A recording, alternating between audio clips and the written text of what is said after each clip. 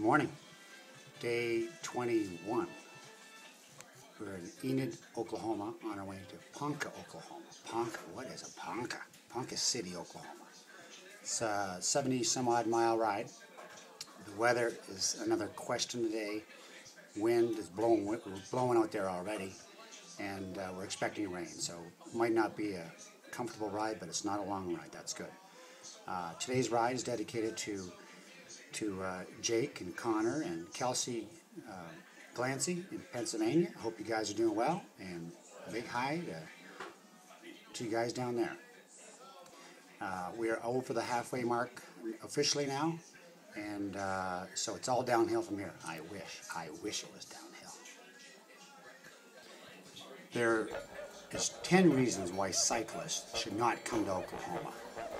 In case you haven't noticed, I'm not really big on Oklahoma but I figured out 10 reasons why cyclists should not come to this state. First reason, the wind blows. It really blows. Ninth reason,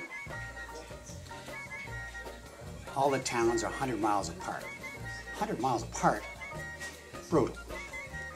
The eighth reason, it's really hard to shift gears when you got a shot, when you have to carry a shotgun. Seventh reason, the barbecue sauce gives me gas. It's really not good for the Peloton. Sixth reason. One out of every five people are redneck drivers. And uh, redneck truck drivers, to make it worse. And they love honking their horns. How many cyclists like people honking their horns? The fifth reason. You can't find a good bowl of spaghetti. Where the hell are all the Italians? Fourth reason, the state never ends. It just keeps going and going. The state never ends. Third reason, the entire state stinks like cow manure. Cow manure. Second reason, you can only get a light beer on Sundays. Like, what's that all about? Light beer? Jeez. And the number one reason why cyclists should not come to this state is the wind blows. It really, really blows. In the morning, not that early, it's about quarter to eight. We're had a late start today. But as you can tell, I'm styling.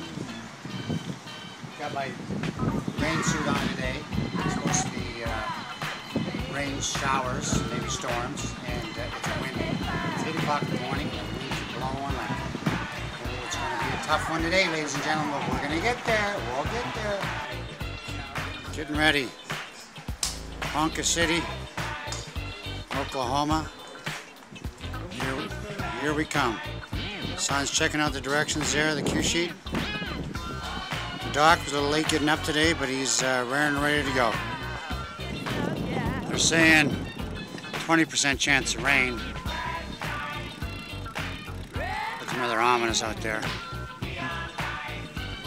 Just hope that wind doesn't pick up anymore.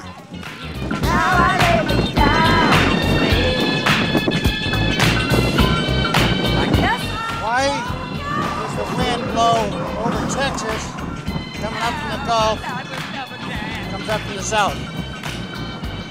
You know why? Because Oklahoma sucks. There I'm in Billings. We're at the corner of Main Street and Central, is that what it was? All there is. Gotta love Oklahoma. Stop for lunch. I don't know, someplace in Oklahoma. And Sweet Bet is taking my photo today, and thank you, Sweet Bet. You make my day. I taught us a new uh, technique. It's called echelon. He's from the flatlands in Indiana, hey Doc? So he uh, knows about riding in the wind unlike a pace line, pace line you're one behind the other. This echelon, you're staggered more across the road. And they're a little bit behind, it's uh, it's uh, very handy when you got a crosswind. We can dance if we want to. We can leave your behind. Cause your friends don't dance, and if they don't dance, well, no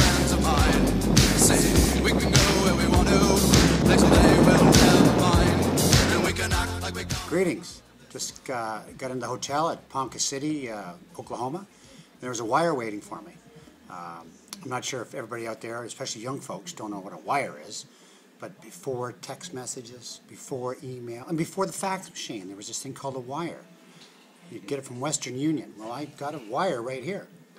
The wire is from Uncle Buddy up in Boston, Massachusetts. Uncle, Uncle Buddy is one of the most generous people in the whole world. And Uncle Buddy just sent this greeting. He says, uh, actually, Uncle Buddy's an Irishman from Boston. And Uncle Buddy says here, Hello, Michael. Glad to, glad to see you're doing so well, and I understand you're over half the way. Uh, I'm very proud of you. I'm sure your mother is too. You know, Eileen and I uh, think about you. We watch the videos, and uh, we enjoy we enjoy watching you every day. Uh, and I really would wish you like to wish you all the best. You and all the cyclists, you're halfway there, and uh, con- continue with a good ride. And uh, if you get a chance, have a have a, a wee nip of the old Irish nectar from, for me. Well, buddy, it's nice hearing from you, and we will have a toast to you. Thanks. Here we are in uh, Ponca City, Oklahoma, having a toast to Uncle Buddy and, and Eileen. Uncle Buddy, the most generous man on the planet. And we're also going to toast the cyclists that are going to make it across the country. Cheers! Cheers! Uncle Buddy. End of the day, day 22. Uh, not a bad day. Started off rather gloomy. It was looking like rain, but the rain never did come. Uh, rode, I think, 73 miles. I remember when 73 miles I thought was a long day. 73 miles is actually a, a short day now, and it's was rather enjoyable. Um, it was windy again, coming out of the east, so it blowing in our face. Uh, but I had a group of people, and we rode together, and uh, you know helped each other out, fighting the wind. Uh, got in here mid-afternoon, and uh, not a bad day. We still have another 160 miles in Oklahoma. I'll be one happy camper when I get out of this thing.